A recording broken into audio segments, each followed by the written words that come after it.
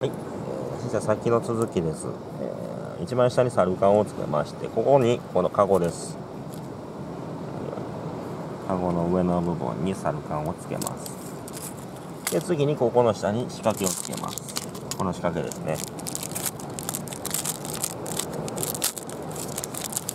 今日は、えー、海が濁ってる時は割とこの赤系がいいっていうふうに言いますので赤系でちょっとやってみます。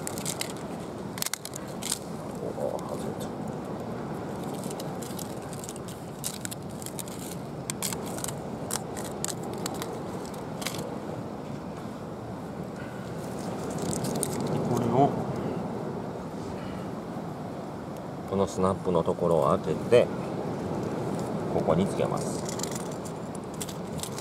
すると天秤の下にこういう風に針がつくようなこういう仕掛けになります。